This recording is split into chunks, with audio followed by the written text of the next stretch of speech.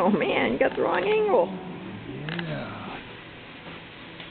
Oh, like that. Look up here, Patty. She's taking your photo.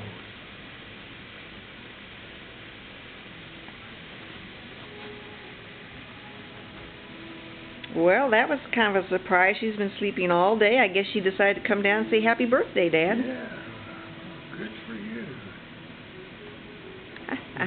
Rich said uh, Darcy is having some old age problems.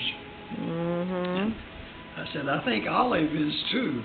Hmm. And he said, Well, Olive's not that old.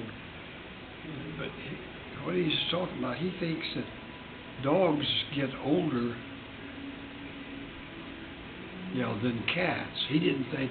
I told him, I thought maybe it was the cat was at least 12 years old. Mhm. I think she'll be. Let's see. We got her in '97.